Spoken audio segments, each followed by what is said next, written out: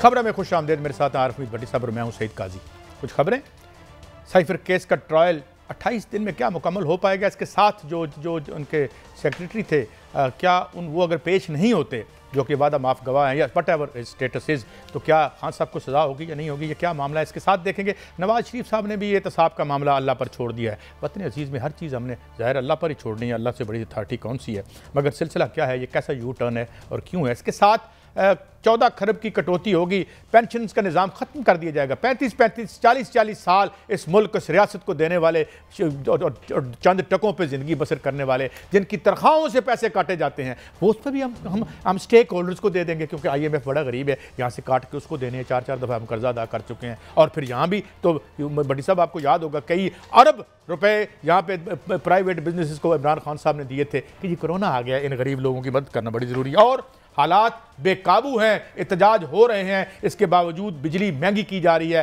खौफनाक खबरें हैं। हम हम बयान नहीं कर सकते कहाँ पर कितने परसेंट लोग बिल देने से कासर हैं। उन्हें मार दो। उनके घर में पैसे ही नहीं है तो बिल कहाँ से देंगे? बहरहाल ये सवाल है छोटे छोटे भट्टी साहब आपकी तरफ़ हाजिर होता हूँ। सा, साइफर केस का ट्रायल हमने दिन में मुकम्मल करना सवाल मेरा स्पेसिफिक है। ये बताएँ कि वो जो वादा माफ़ गवाह है क्या नाम है? भला सा उनका जो उनके प्रिंसिपल सेक्रेटरी थे वो अगर तशरीफ़ नहीं लाते सामने नहीं आते या उनका बयान तो इस तरह से फैसला हो जाएगा।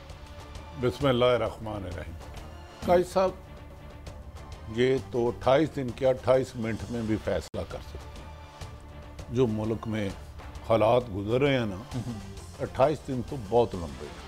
अट्ठाईस सेकंड में भी हो सकता है। साइफर केस ख़त्म हो जाएगा ऊपर जाके उड़ जाएगा। यहाँ नहीं ऊपर जाके। ऊपर यानी बड़ी ऊपर वाली अदालत में। अल्लाह की अदालत नहीं कह रहा। उससे नीचे नीचे। अल्लाह की अदालत में तो खैर हाँ, वो तो किसमें आएगा? कल मैं एक दो सबक सेक्रेटरी खारजा साहबान से मिला। अच्छा। और स्पेशली इस इशू पे गया था मैं कहता मेरी रहनुमाई करें। कहते हैं हमारी समझ से बाहर है ये केस कैसे बना? कहता ये अनबिलीवेबल है। हमारी हिस्ट्री में कहता है ऐसा आज तक कभी हुआ ही नहीं। कहता ये तो मामूल के काम है। लेकिन अब क्या आप साइफर केस का 28 दिन में फैसला कर लेती हैं? आप बादी नज़र में जिस जमात को भी कॉर्नर करना चाहते हैं, कर लेती हैं। क्या आज़म खान साहब ने जो मुबैना तौर पर मुस्लिम लीग नून के मुताबिक लूटमार की, वो सब जायज़ हो जाएगी। एक बंदे को सजा दिलवा के एक बंदे के ज़रिए अगर एक सौ चौंसठ और एक सौ इकसठ का बयान इतने अहम है तो एक तो इसाक डार साहब ने भी बयान दिया हुआ था। उनको लाने के लिए तो आप कानून की दजकियाँ उड़ा रहे हैं नजाना उनको लाने के लिए तो आप अमली तौर पर। ऐसा वो अबदी ला है लेकिन हाँ। उनके हालात की निशानदेही करना तो कोई गुनाह नहीं है। अब अब सारी रियासत सारी जो आपकी गवर्नमेंट है वो लगी नहीं हुई इनके जलसों के लिए जो है हमारे पंजाब गवर्नमेंट के वसाइल इस्तेमाल हो रहे हैं। ये तो सामने बात है इसका हम क्या कर सकते हैं? कादी साहब आप एक बात नोट कर लें। ये हंडिया नहीं पकनी। ये जितना ज़ोर लगाना लगा लें जिसको ये इकतदार देना चाह रहे हैं लोग उसे नहीं तस्लीम कर रहे। जिसको ये इकतदार देना चाह रहे हैं आप साइफर केस के बाद 170 केस है और 80 आप सारे ले आए। ये अदालत में तखीरी हरबे एक तरफ़ सुप्रीम कोर्ट के ऑनरेबल चीफ जस्टिस साहबान कहते हैं इसलिए नहीं मिलेगा तहरी हरबे नहीं मिलेंगे। तो काश हमारी उनसे अदब एहतराम से है कि ह्यूमन राइट्स की वायलेशन की जा रही है। सहाफ़त पर रोज़ शब खून मारा जा रहा है। कभी इधर नज़र करे मुझे लग रहा है कई सब नगरान हुकूमत हो या बशमूल पी डी एम इनका एक ही मौक़ है कि एक आदमी को सियासत से उसकी पार्टी को अलग करके चले मुझे बता देना कई सब क्या पाकिस्तान तरक्की याफ्ता ममालिक में आ जाएगा। यहाँ गुर्बत कम हो जाएगी बिजली के रेट आ जाएगा पाँच रुपये पे यूनिट कर दें उसको ख़त्म हमें भी ख़त्म कर दें। भाई साहब मुझे तो और डर है। मुझे डर ये है मैं बड़ी बड़ी बड़ी केयरफुली बात करूँ आपसे। ये जो यहाँ के असल लाडले हैं ना इनकी जो हंडिया पक रही है ये हंडिया ही ना तोड़ दें। ये हंडिया ही ना टूट जाए। हमें डर सिर्फ़ ये है। पर इसको छोड़े बात ये है कि अट्ठाईस सब अट्ठाईस दिन नहीं आज तारीख क्या है? बोल गया भट्टी साहब। दो है गालमन दो या तीन होगी मुझे नहीं पता। हम्म। आप फरमाए। दो तारीख दो अक्टूबर है। उनकी ख्वाहिश है उनकी हम्म। कि मेरे आने से पहले और एक और ए, सियासी खातून है कि 25 से पहले पहले खां को सजा दो। तो तो पहले हो चुकी है उनको एक केस में तो। दो, दो दबानी है। दोबारा नहल और कमो बेशतर कमो बेशतर इतला है कि नौचदरी सदार नवाज़ शरीफ को हुई थी उससे डबल हो इसको और फिर उनकी बात भी माननी पड़ेगी क्योंकि जिस जिस तरह इस मुल्क की आवाम इनके पीछे आ रही है जलसों में जिस तरह लोग आ रहे हैं तो एक एक प्रेशर तो पड़ता है ना जब करोड़ों लोग आपके मतलब आपकी एक एक इशारे पे बाहर निकल आए। कादी साहब असल बात है आप अपना गुबार निकाल रहे हैं? कल आपने गुजराले जाना था शादरे पाँच घंटे आप फंसे रहे ट्रैफ़िक बंद हो गई तो एक जलसे पे आप इतने घबरा गए हैं। सिर्फ़ यही गुस्सा है ना आपको? मेरा भी एक दोस्त आ रहा था गुजराले से। वो कह रहा है जेलम तक लाइनें थी। अच्छा। कितनी लाइनें? पर दरख्तों की लाइनें जो सड़क सड़क के साथ लगी? अच्छा। कल आपको नहीं पता शायद मेरा ख्याल है। नहीं नहीं मैं मैं, मैं बेलम आदमी लाहौर में एक बहुत बड़ा जलसा हुआ। अच्छा। शादरा की कुछ अठारह से सत्रह फुट गली है। इंसानों का समुंदर था। इस्तंबुल अमेरिका कनाडा स्विट्जरलैंड जोआलैंड हॉयलैंड। लोग सारे देख रहे थे। लाइव पाकिस्तान टेलीविज़न जो नगरान हुकूमत है उसने कल इतनी बड़ी कवरेज की मुझे तो मौजूदा मिनिस्टर साहब पीटीवी पे सुना दिखाया गया। हाँ तमगा जुरत देना चाहिए। गैर जानबदारी तो उनकी बिल्कुल बिल्कुल बिल्कुल वाजे देखिए पीटीवी गैर जानबदार लोग ये निगरान हुकूमत तो बिल्कुल गैर जानब अगर क्या पीटीवी रोज़ाना जो नून लीग के पीटीए के लीडर है उनको भी तो कवरेज करती है ना।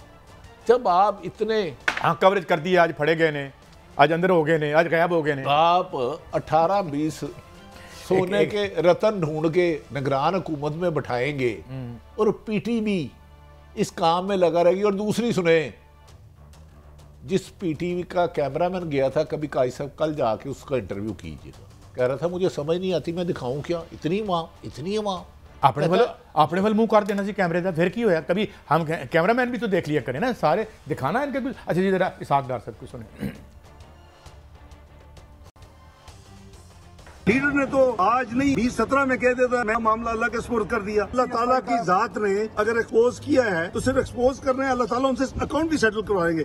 ये अल्लाह ताला पे मियाँ नवाज़ शरीफ ने छोड़ा है तो मैं समझता हूँ कि जितने कम अरसे में उसका नतीजा मिला है दुनिया को दिखा दिया गया है कि पूरा फ्रॉड केस था, मियाँ नवाज़ साहब के साथ ज़्यादा थी और उसका नुकसान चौबीस करोड़ अवाम ने भुगता है। पाकिस्तान की तरक्की कई ढाइयों पीछे चली गई है। चौबीसवीं मीशत से सैंतालीसवीं मीशत जो एक सेंटेंस है, ये बहुत मीनिंगफुल है। लेकिन बड़ी साहब बड़ी साहब मैं, मैं मुझे माफ़ कीजिएगा मुझे एक फिक्रे की मोहलत दीजिएगा। देखना बात उनकी ठीक है। हमने एक का जो इनका इतराफ़ी बयान था वो हमने अल्लाह के सपुर्द कर दिया। यहाँ पे एक जियाउल हक होते थे वो उनसे पूछते थे यार आप किसी को जवाब दे हैं? कहते जी मैं अल्लाह को जवाब दे अगले जान जाकर मैं जवाब दे देंगे इतने मैं जो करना तो वो वही करांगा। और उन्होंने वही किया खैर अल्लाह तो जवाब ले ही रहे हो। तो बात तो इनकी ठीक है। एक सौ चौसठ का बयान भी तो हमने अल्लाह पे छोड़ दिया कैसे कैसे ठीक है? उन्होंने फरम, उन्होंने फरमाया मोहतरम साग डार साहब ने कि बीस सौ सत्रह में भी अल्लाह पे छोड़ दिया था। अगर अल्लाह पे छोड़ दिया था अल्लाह तो कुल कायनात का रब्बुल आलमीन है ना। अल्लाह तो खाली मुस्लिम लीग नून या पीटीआई या फलां अदारे का नाम नहीं सुनता। अल्लाह पे छोड़ दिया ना फिर ये मारे गए। माफल माफ़ी उससे रहम मांगे उससे करम मांगे उससे माफ़ी मांगे। अगर अल्लाह पे छोड़ा था मैंने मान ली। चंद दिन पहले नवाज़ शरीफ साहब का बयान सुना है कि मैं तीन चार बंदों का नाम लेके इनको नहीं छोड़ूँगा। एक हज़ार एक बयान दिखा दूँ। वो बयान अल्लाह पे छोड़े थे या कल के सागडार पे बयान मुझे बता दे, मैं इनके बयान में इतने तजादात हैं, इतने, उतने मेरे सर पे बाल नहीं है। कौन से बयान पे आप इनका यकीन करेंगे? अगर इन्होंने अल्लाह पे छोड़ा था, कादी साहब अच्छा बड़ी साहब तो फिर ख्वाजा आसफ ने ये क्यों कहा कि हमें तो बाजवा साहब ने भेजा था? चले मैंने मान लिया अल्लाह पे उन्होंने सच बोला था मैं उनको अप्रिशिएट करता हूँ वो हमेशा सच बोलते हैं। नहीं तो, तो ये साग डाल तो उन्होंने ये भी कहा था अच्छा भाई साहब सुने। इन्होंने ये फैसला अल्लाह पे नहीं छोड़ा। मोहतरम नवाज़ शरीफ साहब हिसाब डार साहब मरियम नवाज़ साहब अगर मैंने कहा गैब का इलम अल्लाह के पास है मेरी खैर जो गुफ्तु होती है प्रो इनका ख्याल है एन मौके पर नवाज़ शरीफ को बजाय मरियम को वज़ीर अजम बनाएँगे। शहबाज शरीफ का वो भी पत्ता साफ़। अगर इनके मुताबिक स्क्रिप्ट चलता रहा वो चलेगा नहीं। और तीन बंदों के खिलाफ इन्होंने हलफ दिया है कि हम केस खोलेंगे। ये आपको कुछ तीन बंदों के खिलाफ हम केस खोलेंगे ये उन्होंने किस, किसने हलफ दिया है? बस मैं नहीं कहूँगा मुस्लिम लीग नून की क्या आदत है और सरकारी अफसरों के बारे में। उन्होंने कहा जी मेरी जब तक ज़िंदगी रही मैं इनको जब तक ये तो खबर आप भट्टी साहब आप बिल्कुल ठीक है। ये ये तय ये हुआ है कि फ़िलहाल चुप कर जाओ। सिर्फ़ फ़िलहाल जमानत करा लो जमानत करा लो। तरीके इंसाफ को साइड पे लगा लो पावर में आ जाओ। उसके बाद हमने इनको नहीं छोड़ना। वो तो खैर आपको जमिया साहब आप जानते हैं जिनसे मोहब्बत करते हैं उन्हें भी नहीं भूलते ना इसकी गुफ्तु का तल्लक रिजेक्टेड से है ना इसकी गुफ्तगू का तल्लक हकूमत बनने से है ना इसकी गुफ्तगू का तल्लक दो अहम शख्सियात आज भी किसी अहदे पर है। उनके बारे में भी कहा जा रहा है इनके खिलाफ कार्रवाई की जाए। बस। जो आज भी किसी अहम अहदों पर है। उनके बारे में भी कहा जा रहा है कि इनके खिलाफ कार्रवाई की जाए। हाँ हम मीडिया पर जबार बंद रखेंगे लेकिन अंदर खाने जो डील हुई है वो पूरी करें। मीडिया हाँ हाँ अच्छा ठीक है। अच्छा ये ये इनकी डील का हिस्सा है अंदर की डील का हिस्सा है? आप मुँह बंद रखेंगे आपने जो करना है बाद में कर लें। नहीं उन्होंने कहा दो बंदों को अभी इबरत का निशान बनाए। अभी इबरत का निशान बनाए।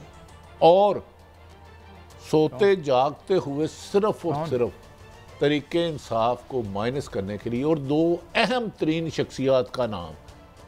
अभी चंद दिन पहले इजलास हुआ है नवंबर में कुछ लोग रिटायर्ड हो रहे हैं। कुछ को तसीन नहीं मिली उनके बारे में गलत तासर दिया जा रहा है। ये मैं हमारे एक दोस्त हैं एफसी कॉलेज में पढ़ाते हैं उनकी बात करूँ। काजी साहब इनके जो इरादे हैं मेरी इतला है लंदन में होने वाली खुफिया बैठक जो नाम लेकर कहा गया इनको निशान इबरत बनाना है वो पाकिस्तान पहुँच चुकी है पूरी डायरी। और उस पर कुछ लोग कह रहे हैं कि अगर पल्ले नहीं तेला तो कर दी मेला मेला ना यानी अब मैं इस स्टोरी को जरा सीधा कर दूँ ना मैं मैंने जरा सब एडिटिंग करन दी यानी ये कि जिनके बारे में इन्होंने कहा कि आज खामोश हो जाएँ ये एक अपने काम चांदे करा लें। छोटे छोटे काम हैं जो हमारे पर जाली दो नंबर केसेस बने हुए हैं। करप्शन तो हमने कभी की नहीं है। करप्शन की तो हमें स्पेलिंग भी नहीं ये कितनी बड़ी जगह है ये बड़ी ये ग्यारह फुट बता रहे हैं जगह नहीं नहीं नहीं। ओ काजी साहब समुंदर से ज़्यादा चौड़ाई है। नहीं नहीं ग्यारह फुट तो इसकी चौड़ाई है तासुब की ऐनक से उतारे मैं माफ़ी चाहता हूँ। गलियों में इस पे इस पे मैं बाद में ग्यारह फुट अच्छा सॉरी मैं चलो ठीक है टॉपिक पे मैं, मैं, रहते मैं, हैं। मैं ये बात कर रहा हूँ कि ये ये हो गया तय कि जनाब ये इस पे इन्हें हम छोड़ेंगे नहीं। और मियाँ साहब की यही नफसियात और ये उन्होंने मैसेज भी दे दिया है बाज लोगों से जिनके साथ मुबैना इनकी डील हुई है कि जनाब उन्होंने कहा फ़िलहाल आप मीडिया पे खामोशी करें। पहले मैं आपके एजेंडे के मुताबिक एक चीज़ को साइड पे करता हूँ। फिर इन दो तीन बंदों से आप राज्य के बदला लें। कादी साहब जो इरादे बेसिकली ये ये बदला प्रोजेक्ट है बदला लेना है। वो नहीं वो ओपन कह रहे हैं। वो कह रहे हैं हम नहीं छोड़ेंगे। और उस क्योंकि पे असी, असी तो पाकिस्तान की रजिस्ट्री कराई हुई है। उस पे हैं? हाँ एक बात जो अच्छी है जब इन्होंने कहा बदला लेना शहबाज शरीफ साहब ने कहा ये काम ना करे उसने कहा नहीं आप चुप रहे हमने मीडिया पे करनी है लेकिन कुछ बंदों के नाम जो रिटायर्ड हो चुके हैं और कुछ दो अहम उहदों पे हैं और इसके लिए अहम टास्क जो वफाकी हुकूमत में तीन लोग तैनात है जिन्हें दिया गया है आप इनके बारे में आईबी को सख्ती से आर्डर है एक एक चीज़ निकालें हमने in every condition Nawaz Sharif ने कहा जो करके दिखाना है। काजी साहब ये आपको पता था आपको अच्छा बड़ी साहब ये इतलात ये तो अगर आप और मेरे जैसे मामूली लोगों तक पहुँच गई हैं इस मुल्क के जो साहिब इख्तियार हैं उन तक भी तो पहुँची होंगी। नहीं सब नहीं जब आप बहुत ज़्यादा बाख्तियार हो जाए बहुत ज़्यादा ताकत आ जाए और आपको ये पता हो कि मैं फ़लाँ बंदे को निस्तो नबूद कर दूँगा, उसका नाम सफ़ा हस्ती से मटा दूँगा, उसे किस्सा माजी कर दूँगा तो कई दफ़ा अल्लाह ताला अकल पे पर्दे डाल देता है और आप ऐसी ऐसी गलतियाँ करते हैं कि आपको समझ नहीं आती। अच्छा बड़ी साहब, मैंने दो स्टोरीज करनी है, इससे पहले क्योंकि मैं चाहता हूँ ज़्यादा से ज़्यादा आज बड़े हफ़्ते हफ़्ते पहला प्रोग्राम है। पहले तो सरफराज मुफ्ती साहब का शॉर्ट सुनवाएँ। मियाँ साहब अगर आना चाहते हैं, वो पाकिस्तान टेक्स में हिस्सा लेना चाहते हैं, ये इनकरेजिंग और मेरी उस स्टेटमेंट को भी मिस इंटरप्रेट किया गया। मैं आज भी ये कह रहा हूँ, जो मुस्लिम लीग के रहनुमाओं ने मेरे बारे में बात की है खास तौर पे रारा सनाउल्ला साहब मेरे बड़े भाई है। मैंने उस प्रोग्राम में भी कोई ऐसी बात नहीं की थी जिनसे उनकी दिल आजारी हो। मैं अब भी ये कहता हूँ कि मैं नवाज़ शरीफ तो वो लीडर हैं जो बेटी समेत खुद जेल जाने के लिए आ गए। अगर उनको जेल जाने का खौफ होता तो वो बेटी समेत जब उनका बदतरीन मुखालिफ इधर वजी आज़म तो उस वक्त भी आ गए थे।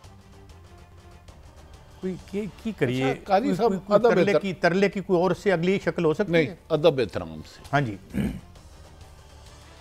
अगर आप बहुत इसने गलत बात क्या की थी बुगटी साहब ने? मेरी अर्ज़ कि भाई कानून के मुताबिक चलेंगे? कादी साहब नगरान हुकूमत गैर जानबदार वज़ीर दाखिला इससे ज़्यादा इस अहदे की वजारत दाखिला की तजलील इससे ज़्यादा तजलील नहीं हो सकती। मैं यकीन से कहें ना नवाज़ शरीफ साहब के दौर में हुई मोहतरम ना इमरान खान साहब के दौर में हुई ना मोहम्मद खान जनेजो में हुई ना यूसुफ रजा कलाना मिनते कर रहे हैं। वो मेरे भाई आप। निगरान वज़ीर दाखिला हो। आप राना सनाउल्ला से इतना खौफजदा हो कि उसने सिर्फ़ ये कहा शेख रशीद भूल गए। आपको लापता कर देंगे ना मैक्सिमम क्या हो गया?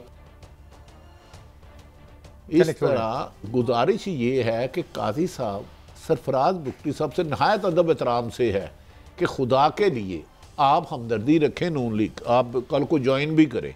एक करोड़ दफ़ा करें। अच्छा बड़ी साहब मैं एक, एक, एक इस खबर नहीं लेकिन क्या ये इस अहदे की तजलील नहीं है काजी साहब? बटी साहब दिस इज़ सेल्फ नहीं ये ये वज़ीर दाखिला है या नून लीग के तर्जमाना नवाज़ शरीफ के? मुझे ये बताएँ। बदाहर बादी नज़र में आपको क्या लगा? लंदन में जब शबाज शरीफ साहब से पूछा गया मैं एक देख रहा था एक पोस्ट देख रहा था कि आप फलां होटल में क्या करने गए थे? वो कह रहे थे हम मोहम्मद अहमद खान साहब से मिलने गए थे। मैं मेरी ये और यार जब आपकी ऊपर से लेकर नीचे तक हर चीज़ ही कंप्रोमाइज है तो फिर छोड़ें क्या बात करनी है? काजी साहब हमारे अदारों के बारे में भी सरफराज बुकटी साहब बहुत ज़्यादा नामुनासब बात कर गए। मैं नहीं दोहराऊँगा क्योंकि वो मेरे हम उधर नहीं हमें नहीं लेकिन ये हाँ, हाँ, एक सोची समझी स्कीम के तहत कुछ अदारों को टारगेट करने के लिए ये साजिश की जा रही है हमारी तो अच्छा अदारों साहब मैं एक साजिश का और ज़िक्र करना चाहता हूँ। मैं पॉलिटिकली बड़ा ज़ाहिर डिसग्री करते हैं जो जो भी मियाँ नवाज़ शरीफ साहब का फ़लसफा है सियासत है इन लोगों का हर किसी का राइट है वो। मगर एक बात थी ये जो कल हुआ है जलसे में मुझे खुद मुस्लिम लीग नून के जो इंतहाई करीबी दोस्त हैं वो ये बता रहे हैं कि इस जलसे को नाकाम करने में अंदर खुद यहाँ पे मिसाल उन्होंने मिसाल दी है मैं मैं मैं उन्होंने कहा यहाँ एक भी मियाँ जो है अपना शहबाज शरीफ साहब के फर्जंद अर्जुमंद उनका कोई बंदा यहाँ नहीं था। हमजा शहबाज नहीं मैंने तो सुना था हमजा साहब ने भी जाना नहीं कि वो कहते हैं उनका कोई बंदा भी नहीं था और ये ये जो ये जो मरियम साहबा की इतनी तो बात है कि अगर वो किसी बताए बगैर भी किसी जगह पे पहुँचती हैं तो वो वो हज़ार दो हज़ार बंदा इकट्ठा करना तो उनके लिए मसला नहीं है। यानी जो उनकी ज़ाहिर है वो तो तो तो तो, तो ये इसका मतलब ये है कि इसका मतलब ये है कि इनको अंदर से ना काम किया गया। ये आ रही ये बात मुस्लिम लीग नून के बाद हल्के कर रहे हैं। मैं सिर्फ़ आपसे पूछ रहा हूँ। काजी साहब क्योंकि मैं नहीं मानता कि मरियम साहब आए और बंदे काजी साहब काजी साहब आजकल महँगाई बहुत हो गई है। शादी पे इससे ज़्यादा बंदे होते हैं। शादी पे इससे ज़्यादा बंदे होते हैं। इस जगह का इंतखाब करने वाला ने नून लीग के साथ दुश्मनी की। और इसको बादी नज़र में जितना इस पर इन्वेस्टमेंट की गई जितनी इस पर मेहनत की गई जितनी सरकार की ड्यूटी लगाई गई एन मौके पर एक सरकारी इदारे को कहा अपने बंदे बुलाओ जल्दी से। सरकारी बंदे सरकारी बंदे बुलाओ जल्दी से। वो भी नहीं आए। ओ भाई ये ते चार पाँच सौ या जितने भी हैं या चालीस पचास लाख है ऐसे तो नहीं हो गए वरना आप कह रहे हैं, हमजा शहबाज ने अमला पाकिस्तान की सियासत में इनने ज़्यादा। उनकी इलाकों में खुशी गमी में भी जाते हैं। मरियम नवाज़ साहबा नहायत काबिल एहतराम है, हमारी अगली प्राइम मिनिस्टर होने की ख्वाहिश इनके वाला साहब देख रहे हैं। लेकिन ये सोशल मीडिया या टीवी की हद तक लीडर है। अगर कहीं पेनिट्रेशन थोड़ी बहुत ज़्यादा है तो वो हमजा शहबाज की है। हमजा शहबाज को कॉर्नर करके अगर ये समझते हैं ऐसा मैं आपको एक और खबर देता चलूँ। इस जलसे पर एक मुस्लिम लीग की खातून ने सख्त बरहमी का इजहार किया और सरजनिश किया कुछ लोगों की कि आपने मेरे साथ किया क्या? आप तो मुझे रोज़ाना तासुर दे रहे थे कि जी लाखों लोग होंगे। इसी वजह से अब ये इसका मतलब ये है कि जो इंट्रा पार्टी पावर की स्ट्रगल है अगली जनरेशन के लिए। हमजा शहबाज साहब हों या मोहतरम मरियम नवाज़ साहब हों तो इसका मतलब ये है कि इस वक्त मुस्लिम लीग नून एक अखाड़ा बन चुकी है कि अगली लीडरशिप में मरियम साहबा होंगी क्या उनको नीचा दिखाने की कोशिश की जा रही है? क्योंकि मैं ये हजम नहीं कर देखें, हमजा साहब का बहुत ही एक रोल होगा, लेकिन मरीम साहबा की जो तकरीर या जो उनके उनके मानने वाले हैं या जो उनकी एक पर्सनैलिटी है, मैं ये नहीं मान सकता कि एक कॉर्नर मीटिंग में भी इस तरह से हो। मैं, मैंने लगता है अंदरों ही कम हुआ है। काय साहब मैं इसमें एक अच्छी उम्मीद की किरण भी निकली है। कल के इस अजीम शान जलसे से जिसमें कमो बेशतर जो स्पेशल ब्रांच की रिपोर्ट है मैं उसके फिगर नहीं बताऊँगा। लीडर कितने थे और कारकुन कितने कोई गैर स्पेशल ब्रांच हो तो उसका बता नहीं उसकी रिपोर्ट यकीनन इनके पास पहुँच गई होगी मौजूदा। लेकिन एक उम्मीद की किरण अच्छी निकली है इस रैली के या इस जलसे के या इस जीमुल निशान इज्तम के बाद कि 21 अक्टूबर को अगर नवाज़ शरीफ साहब लाहौर में जलसा करते हैं तो आपको एक बात आज मेरी नोट कर लें बहुत कम सड़कों पर मजदूर नज़र आएँगे। ये जो बेलचे लेके चौकों में बैठे होते हैं? हाँ बहुत कम। यार किसी को रोज़गार मिल जाए तो हमें नहीं मैं कह रहा हूँ मिल गया उनको। एक दिन का लेकिन अगर आप ये कहें ना इस जलसा जलसे करे ये रोज जलसा हो ताकि उनकी इस जलसे के बाद बहुत सारे सर जोड़े गए। आज भी तकरीबन ढाई से साढ़े तीन बजे तक मीटिंग हुई जिसमें लाहौर में तमाम मुस्लिम लीग के पुराने M P M N A थे। इक्कीस अक्टूबर को अगर जलसा होता है मुझे नहीं पता कि मियाँ साहब आ रहे हैं कि नहीं आ रहे सौ फ़ीसद ये जो टिकट टिकट नहीं नहीं कैंसिल भी हो जाती है। ये तो एक बहाना है इनके लिए टिकट क्या है? ये तो चार्टर्ड प्लेन अपना लेके आ जाएँगे ये इनका इशू नहीं है। 21 अक्टूबर को लाहौर और गिरदो नवा में आपको सड़कों पर बैठा कोई मजदूर नज़र नहीं आएगा। उन्हें एक दिन की नौकरी की खुशखबरी दे दें हज़ार डेढ़ हज़ार से दो हज़ार रुपया उन्हें इनाम मिलेगा। कैसा देखें, अगर एक तंग गली में जलसा कामयाब हुआ है तो उसके असरात इन फ्यूचर भी तो बेहतर आए हैं ना। लेकिन मेरा एक आपसे सवाल है कि मैं तो ज़्यादा अभी अभी अभी देख रहा हूँ। यहाँ पे मरीम साहबा के अलावा हमें मिसाल के तौर पे लाहौर से इलेक्शन जीतते हैं साथ रफ़ीक साहब नज़र नहीं आ रहे। और कोई एम हैं जिन्हें मैं नहीं पहचानता और यहाँ पे हों भट्टी साहब वो लोग कहाँ हैं? देखिए ज़्यादा अफेक्टिव साद रफीक हमारे पुराने दोस्त हैं और उनकी उनकी, उनकी फॉलोइंग भी है। हमसे वो स्टूडेंट बहुत लीडर रहे हैं वो। ख्वाजा साद रफीक मेरे अल्लाह बख्शे भाई के भी दोस्त थे मेरे लिए भी काबिल एहतराम। स्टूडेंट लीडर से कर रही है। अगर वो ये इंतज़ाम उनको दे दिया जाता सैफ खोखर साहब की बजाय तो यकीनन वो डेढ़ दो हज़ार आदमी आ सकता था। वो मोहल्ले के लोग पंजाबी कहते ना थड़े दा बंदा थड़े दा अंदरूनी शहर का हमारा कल्चर है ना। अच्छा यहाँ के एम पी ए गालबन गजाली क्या नाम गलीम गजाली सलीम भट्ट साहब हैं एम पी ए जो हैं। वो भी सुने यहाँ नज़र नहीं आए? वाली सलीम भट्ट साहब आजकल कहीं और नज़र आते हैं। नहीं है तो मुस्लिम लीग नून रहनुमा नून में देखिए आजकल पाकिस्तान की पुलिस बड़ी अहम है आजकल रेवेन्यू डिपार्टमेंट बड़ा अहम है गजाली साहब कहीं और थे और मैंने आपको एक गुजारिश की है अगर नवाज़ शरीफ साहब आए मजदूर नहीं होंगे हो सकता है कि नवाज़ शरीफ अगर आए तो कल के जलसे की कामयाबी के बाद जो मरीम साहबा को क्रेडिट जाता है वो देना चाहिए। इस कदर हरकत थी। तो ये भी फैसला किया जाए कि जब नवाज़ शरीफ अगर आते हैं अगर एयरपोर्ट से एफ़ आई ए के होते ही उन्हें पकड़ लिया जाए मीनार पाकिस्तान जाए ही ना जाए। चलें बहरहाल ये ये मुख्तलिफ़ अमूर पर गुफ्तु होती है जब पॉलिटिशियन बैठते हैं ना हर पहलू पे करते हैं। यानी अगर बंदे इकट्ठे लेकिन भट्टी साहब आप ये समझते हैं कि मरियम साहब के, के कादी साहब स्टैंड बाई एयरपोर्ट पे बंदे रहेंगे आप मुझे आगे ना फोले। स्टैंड बाई रहेंगे जब दोहा फ़्लाइट रुकेगी, मीनार पाकिस्तान से रिपोर्ट जाएगी कि कितने लोग हैं, कितने नहीं हैं। तीन घंटे की फ़्लाइट है। उस दौरान एफ़ एयरपोर्ट पर कुछ लोग गिरफ़्तार करने के लिए भी पहुँच सकते हैं। ये सब ऑप्शन पे गौर हो रहा है, क्योंकि बहुत कोशिश की जा रही है एनर्जी देने की एक सियासी जमात को, लेकिन आवाम साथ नहीं दे रही। वोटर साथ नहीं निकल रहा। देखें, लीडर काजी साहब आप मीडिया पे कवरेज ज़बरदस्ती किसी की रुकवा सकते हैं चलवा सकते हैं। किसी को सोशल मीडिया पे एक बहुत बड़ा इन्वेस्टर है पाकिस्तान का प्रॉपर्टी का काम करता है उन्होंने चार मीडिया सेल बनवाए हैं और एक में पचास पचास जाली अकाउंट है। चार मीडिया सेल एक में पचास पचास एक बंदे के। कर सकते हैं इससे लेकिन आवाम में आवाम के दिलों में जगह बनाने के लिए ना अवामी लीडर बनना मैं ब्रेक पे जाना है मुझे भट्टी साहब मगर ज़्यादा ज़्यादा इतना है वापिस भी आएँगे और इस तरह इस तरह बुरे दिन नहीं आते। सुनिएगा। ये जो मीडिया सेल हैं, ऊपर जितने मर्ज़ी है, काले काले चिट्टे धन से बना लें। एक मीडिया सेल आवाम का, उनके दिलों का, उनकी उमंगों का, जिसकी कोई तर्जमानी नहीं। वहाँ अगर आपका मीडिया सेल नहीं है तो आपका कहीं भी मीडिया सेल नहीं है। अब वक्त आ रहा है इस तरह की आवाम की आवाज़ अब हमें सुननी पड़ेगी। एक ब्रेक ब्रेक के बाद हाजिर होते हैं मियाँ नवाज़ शरीफ साहब के एहतसाब का मामला तो हम थोड़ा बात कर चुके हैं, थोड़ी और बात करेंगे, और खरबों रुपए की कटौती होगी।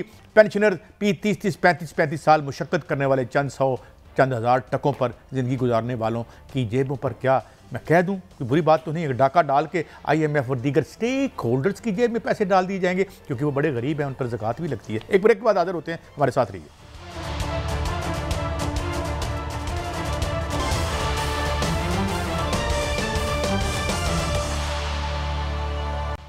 वेलकम बैक इससे पहले कि हम दूसरी स्टोरीज़ की तरफ़ बढ़ें, एक पब्लिक सर्विस मैसेज आपकी खिदमत में पेश करना है और ये इंसदाद पोलियो मुहिम के ज़मन में है जो कराची से लेकर आज़ाद आज़ाद कश्मीर, बलोचिस्तान, गिलगित बल्तिस्तान पंजाब, सिंध, खैबर पख्तूनखा हर जगह ये जारी है। और ये आठ अक्टूबर तक जारी मुहिम के दौरान वालदे अपने बच्चों को ज़रूर पोलियो के कतरे पिलवाएँ कि उनके महफूज मुस्तबिल के लिए और कोशिश ये करें कि पाँच साल की कम से कम उम्र के बच्चों को सबको जो इन बीमारियों से बचने का एक जो एक तहफ़ फराम कर दिया जाए। ये बहुत ज़रूरी है। ये था हमारा पब्लिक सर्विस ए- ए- इसमें ये गुजारिश है कि तमाम वालदेन जो पाकिस्तान के जिस भी कोने में रहते हैं प्रोपोगंडा ना है हकूमत का बड़ा ऐसा इकदाम है कि नई नस्ल को सेहतमंद रखने के लिए तवाना रखने के लिए खुदारा अपने आप को और अपने बच्चों को तंदरुस्त माशरा देने के लिए हर हाल में पोलियो के कतरे पिलाए। इसमें आपके बच्चों का मुस्तबिल और आपका भी महफूज है। इसमें कोताही ना करें, वरना एक कोताही आपके बच्चे की ज़िंदगी को खुदा ना खास्ता एक सेहतमंद ज़िंदगी से महरूम कर सकती है। अच्छा बड़ी साहब, अब ये एहतसाब के मामले पे हमने थोड़ी बहुत बात कर ली। लेकिन जिसमें आपने बहुत बड़ी स्टोरी आज फोड़ दी है वो ये कि वक्ती तौर पर इस पर खामोशी की जाएगी। एक स्ट्रेटजिक जिसे रिट्रीट कहते हैं two step back and then one step forward और जब ये बुनियादी काम हो जाएँगे, मुबैना तौर पर आपकी स्टोरी के मुताबिक, कि ये केसेस वगैरह ख़त्म हो जाए, मियाँ साहब की नाहली का सिलसिला ख़त्म हो जाए, वो ज़रा लंबा सिलसिला है। वो तो अभी वो जो प्रैक्टिस एंड प्रोसीजर एक्ट है, अगर उसमें तरमीम हो जाती, या तरमीम तो होगी, अदालत अगर उसके खिलाफ फैसला दे देती है तो फिर मियाँ साहब के पास क्या, अब इस पर भी एक कंट्रोवर्सी है कि क्या वो जा सकते हैं या नहीं जा सकते अपनी सज़ा को ओवरटर्न करने के लिए, नाहली को ख़त्म करने के लिए, ये मामला होगा। लेकिन ये है कि इस बात में बड़ी साहब मेरे मेरा ये राय है कि मियाँ साहब की अगर मैं शख्सियत और उनका करियर देखूँ जो हम कवर कर रहे हैं बड़े अरसे से मियाँ साहब ना मोहब्बत भूलते हैं ना दुश्मनी भूलते हैं। क्या ख्याल है आपका? कि मियाँ साहब बारह अक्टूबर 99 के बाद उनकी ख्वाहिश है कुछ लोगों को ट्रायल करने की। उनका उनका दावा ये है कि मुझे लाते भी ये हैं और भेज भी देते हैं। अब ये उनसे भेजने की ताकत छीनना चाह रहे हैं यानी कि अवाम से। तो मेरी जो इतला है मैं बावजूक ज़राए से कह रहा हूँ कि वो एक इंच भी अपने बयानिए से सिर्फ़ मीडिया पर पीछे हटे हैं बाकी स्ट्रेटेजी के मुताबिक करेंगे। और एक अपने बहुत बड़े मौसन के बारे में बहुत बड़े मौसन के बारे में जिन्हें ख्वाजा आसफ साहब ने फरमाया था कि हमें फलां ने भेजा है। उनके बारे में और उनके करीबी अज़ीज़ के बारे में इंफॉर्मेशन लेनी शुरू कर दी गई है। उनके मामले में और हो सकता है कुछ लगड़ बगड़ चमचे कच्चे उन बंदों के बारे में सिर्फ़ मोहतरम नवाज़ शरीफ साहब की वापसी के बाद प्रोपोगंडा शुरू कर देंगे। यानी- उसके मुबैना पार्टनर कौन कौन है ये बात इतने वसूख से कह रहा हूँ जितने मेरे सामने मोहतरम। कादी साहब और दूसरा एक दो जो रिटायर्ड हो गए हैं अफसरान उनसे पहले भी उनकी एक चेन है। उसकी डॉक्यूमेंट्स भी लिए जा रहे हैं और उसमें दो जर्नलिस्टों की मुबैना लगड़ बगड़ चमचे कच्चों की ड्यूटी लगाई गई है। अच्छा बड़ी साहब इससे हट के मैं एक स्टोरी करना चाहता हूँ। आप आप यहाँ दोबारा बताइए क्या कहा आपने? अभी अभी मैं कहूँगा दोहराएँ ये बात ज़रा ज़रा क्लियर नहीं हो रही। कादी साहब मैं ज़्यादा मुझे ना दोहराएँ। मैं बहुत ज़्यादा अल्लाह का करम होना चाहिए नबी का हाँ हाँ फिर चाहिए। फिर भी हल्का फुल्का। सर्कल में हूँ एक जो रिटायर्ड हो चुके हैं उनकी बैरून मुल्क चेन है।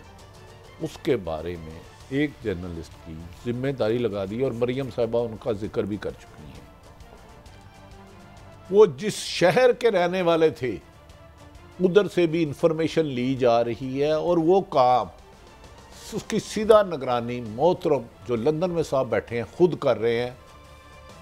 बयानिए से पीछे सिर्फ़ मीडिया पर हटा गया है। वो कह रहे हैं कि चार पाँच लोगों को मैंने निशान बनाना है। उसकी, उनका ये ख्याल है कि एक दफ़ा मौजूदा हालात में हुकूमत उन्हें मिलेगी। क्योंकि जो एक पॉपुलर जमात है उसे दीवार पे। और वो मरियम के लिए ऐसी ग्राउंड बनाना चाह रहे हैं ताकि कल को अगर मरियम नवाज़ वज़ीर बनती हैं मैं ये नहीं कह रहा बनेंगी। उनके खिलाफ कोई सर ना उठा सके। और उसमें इतना रिस्की गुफ्तु कर रहे हैं इतनी रिस्की गुफ्तु कर रहे हैं कि उस बैठक की लंदन में शुरा में से एक साहब उठ के कुछ देर के लिए बाहर चले गए थे। कि वो ये सुनना भी नहीं चाह रहे। ये सुनना भी नहीं चाह रहे थे और एक ने हिम्मत करके हिम्मत करके कहा हिम्मत करके कहा और वो मीटिंग में फिर फ्लैट में भी नहीं हुई। आपको ये भी बात बता बाहर जाने वाले कोई भाई थे या कोई और थे? बस उन्होंने कहा कि सर आप ये ना करें। इंफॉर्मेशन आप समझते हैं लंदन बैठ के आप जो मर्ज़ी करेंगे कुछ नहीं होगा ऐसा नहीं है। अब टेक्नोलॉजी बहुत आगे चले गई है। उन्होंने कहा आप फ़िक्र ना करें। आप इन्हें एंगेज रखें। इसाक डार की उसमें ड्यूटी लगाई गई। आप जाके थोड़ा सा लोगों को लॉलीपॉप दें।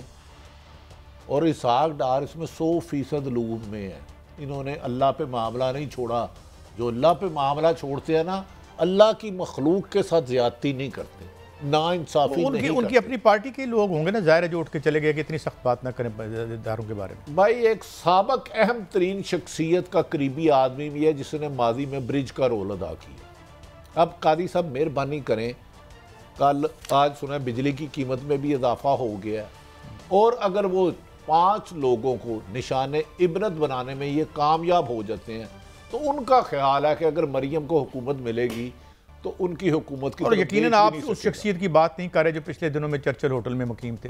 चले छोड़े ज़्यादा नहीं, बात नहीं, मो- वो नहीं वो नहीं वो- वो- वो- ज़्यादा नहीं पता। अच्छा बड़ी साहब मैं एक मीडिया के वाले से बात करना चाहता हूँ। बड़ी देखें हम लोगों को बड़ी तनकीद करते हैं। कितनी इरेस्पॉन्सिबल बात और हम हम बयान दे देते हैं। कल मैं एक बयान पढ़ रहा था कि बशीर मेमन साहब मुस्लिम लीग नून में शामिल हो गए। ये बिल्कुल ऐसे है जैसे मैं कहूँ कल भट्टी साहब मेरे साथ प्रोग्राम करेंगे। तो वो पहले ही शामिल नहीं थे क्या ख्याल है आपका? क्यों हम इतने क्यों खबर को हम इस तरह से अखबार करते हैं? देखें गुजारिश ये है ना सिर्फ़ शामिल हुए बल्कि उन्हें मोहतरम नवाज़ शरीफ साहब की वापसी का कन्वीनियन या कोई हेड बना दिया गया मैं, मैं एक खबर दे दूँ डॉक्टर रिजवान मरूम की हवाले से अल्लाह ताला और मैं उनके दरमियान में हल्फन ये कहता हूँ। कि जब डॉक्टर अरशद मलिक साहब से तफ्तीश हो रही थी कि आपको पहले अपना स्टैब्लिशमेंट ने अप्रोच किया था या इन्होंने अप्रोच किया था?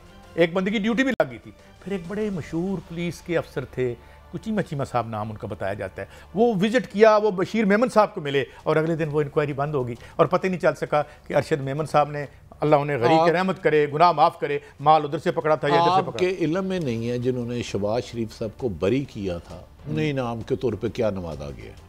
एक तरफ़ जो चीफ जस्टिस को आपने उसकी फैमिली के लोग भेजे उन्होंने आपको माफ़ नहीं किया उसे आप निशाने इबरत बनाना चाहते हैं उसने गलत काम नहीं किया। एक तरफ़ जिसने इमरान खां के खिलाफ बकायदा एक बयानिए को बनाया उनको आप नवाजना चाहते हैं क्यों फवाद हसन फवाद दोबारा है? वो तारड़ साहब जो वज़ीर है आजकल मशीर है क्या नाम है अच्छा बड़ी साहब इस सारी स्टोरी का कोई दरख्तों या जंगल को पानी लगाने से तो कोई तल्लुक नहीं है। देखिए काजी साहब इस स्टोरी में कुछ बड़े खौफनाक टर्न है। अच्छा। कुछ और सरकारी अफसरों को भी नवाजा जा रहा है जिन्हें ड्यूटी दी गई है कि हमें पाँच बंदों के बारे में मुकम्मल इंफॉर्मेशन चाहिए। उसमें नहायत काबिल तराम बशीर मेमन एक अहम रोल अदा कर रहे हैं पसे पर्दा बैठ के। और एक और जो आई बी के अच्छा बशीर मेमन साहब भी अपनी पोस्ट जो एफ़ आई ए में थे या पुलिस से आए थे या जो भी है तो ये इन, इन इनके पास भी जो इन्फॉर्मेशन है उन लोगों के खिलाफ? इंफॉर्मेशन बनवाई जा रही है। इंफॉर्मेशन होना अच्छा अच्छा अच्छा अच्छा। यानी ऑर्डर पे तैयार कराई जा रही है। मतलब है एक के साथ एक फ्री देखिए साथ तो मैं भी दे रहा हूँ आप भी दे रहा हूँ लेकिन मेरा काम हुकूमतें बनाना गिराना नहीं है। सिर्फ़ इंफॉर्मेशन देना हुकूमत जाने ऐसे भट्टी साहब एनियाँ लम्मियाँ नौकरियाँ करके सी एस एस का इम्तिहान बड़ी रट्टे ला के पास करी दे। तो उसके बाद इन्हें समझ नहीं आती कि अच्छा, ये वक्त भी बदल ब्रेक लेनी है मैंने जल्दी से बात है। बताएँ फवाद हसन फवाद साहब काबिल एहतराम और और एक और तारड़ या पता नहीं क्या है जो बने हैं वज़ीर या मशीर। आपको पता है डू यू नो उनके पास अकाउंटेंट तीन चाहिए। बस इससे ज़्यादा आगे नहीं आगे नहीं पूछना। और कौन से मुल्क में क्या है? काजी साहब बदकिस्मती है। हमारी जो ब्यूरोक्रेसी है ना ये आइन और कानून से वफादारी की बजाय चंद लोगों की गुलामी ले लेती है फिर इनकी एक खूबी है एक सियासी जमात की हाँ। जिसकी कीमत रुपया है उसे हज़ार रुपया दे अगर मैं भट्टी साहब एक बात कहूँगा किसी मुल्क के बड़े अहदे पर पहुँच कर फख्र फख्र की बात होती है आप जज बन जाएँ आप ब्यूरोक्रेट बन जाएँ उससे बेहतर घर में वो काम करने वाली, चाय बनाने वाली, उसकी ज़्यादा इज़्ज़त है, उसकी ज़्यादा रोज़ी हलाल की है बनस्बत जिस जाओ अशमत पे, इस पे तो डूब के मर जाना चाहिए। कभी ज़मीर की अंदर के नाक खुल जाएँ तो इंसान अपने तफन से ही मर जाए। इजाज़त दीजिए, ब्रेक के लिए ब्रेक के बाद हाजिर होते हैं, और ये बात करेंगे कट, कटौती की, पेंशनर्स की कटौती, बिजली का मामला, बहुत बड़ा क्राइसिस है। यूँ लगता है किसी हमने ठीक ना किया तो बाकी सारे क्राइसिस छोटे छोटे हो जाएँगे, और ये बहुत बड़ा बन सकता है। एक ब्रेक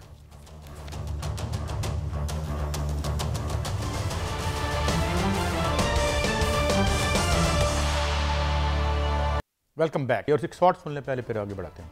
सुनाएँ। ये कुछ मसाइल और थे पर दिल का जाना। अजब इकसान ऐसा हो गया है। स्टोरी में और करने से ये आ गया। ये क्या कह रहे हैं? वन टू फाइव देंगे हम। वन टू फाइव होंडा तो पेट्रोल ज़्यादा खाता है। ये किस लिए वन टू फाइव देंगे? जो ज़्यादा बंदे लेके आए गए किसको? ये कह रहे हैं। ये कौन साहब है? यार ये बताएँ कोई मेंबर है क्या है? नहीं ये दोबारा दोबारा दिखाइएगा क्या जलसे में बंदे लाने के लिए होंडा वन टू फाइव होगा या वैसे कि पाकिस्तान की खिदमत करें कि गरीबों को? जलसे में। अच्छा कैसा अगर पाँच बंदे पे एक वन टू फाइव दें तो आप पचास हज़ार बंदा करें तो कितने पैसे लग जाएँगे अंदाजन बट सर मेरा तो कैलकुलेटर ही लाख रुपए तो उतना नहीं जाता है? मेरा कैलकुलेटर बंद हो जाता है उसके बाद। कई सब कैलकुलेटर एक जो मियाँ साहब के बड़े काबिल एहतराम है ना शाहिद अशरफ ताड़र साहब बहुत अहम पोस्टिंग पे लगे हैं। एन एच ए में है। वो कोई वज़ीर है या मशीर है और ये मियाँ साहब को तीन दिन पहले इन्होंने एक चीज़ भेजी है। बड़ा काबल अफसर है। बहुत काबल अनबिलीवेबल नहीं काबल अफसर के अलावा तो मियाँ साहब किसी की बात ही नहीं सुनते। बहुत ही काबल। काली साहब अगर काबल से तो नहीं आया कहीं? अच्छा नहीं। अच्छा अच्छा सॉरी काबल और बैरून मुल्क भी इनकी अच्छा, बहुत ज़्यादा कमांड अच्छा, है अच्छा, जमीनों का बहुत ज़्यादा पता है। काबल अफसर है ना देखें हर अफसर की खूबती मियाँ साहब वैसे किसी को वज़ीर मशीन नहीं नहीं बनाते। नहीं नहीं ना, बिल्कुल। तो कादी साहब ये जो one two five Noon league को अगर जलसों के लिए वन टू फाइव देने की ज़रूरत पड़ गई है तो फिर मीनार पाकिस्तान जलसा करना ज़रूरी है? बेहतर नहीं कि जाती उम्र ही कर लिया जाए या वो कौन सी है? ये। नहीं बाबर मार्केट अनारकली में वो तंग तंग गलियाँ हैं।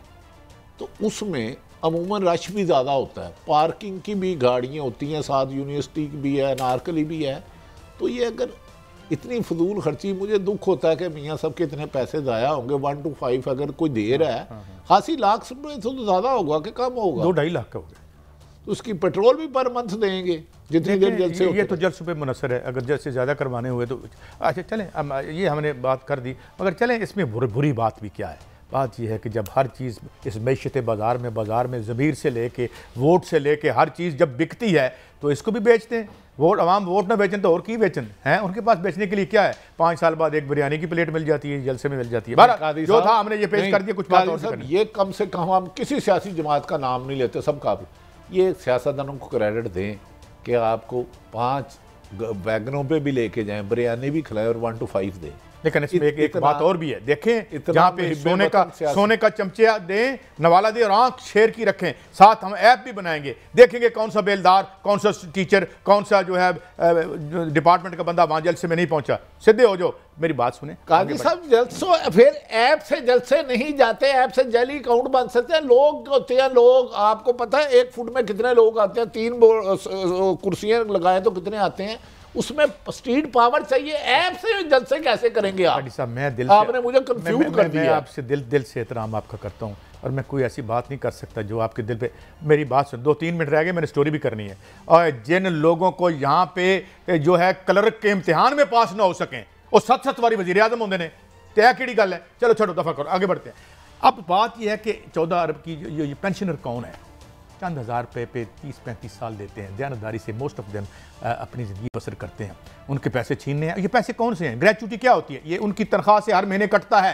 ये उनके पैसे हैं। और उनके पैसे से फिर यहाँ हमारे दोस्त ज़फ़र गोंदू साहब पे केस गलत जो सही बना था। उनके पैसे का माल भी ऊपर वाले लूट के खा जाते हैं। अब ये सारा हमने खा लेना है।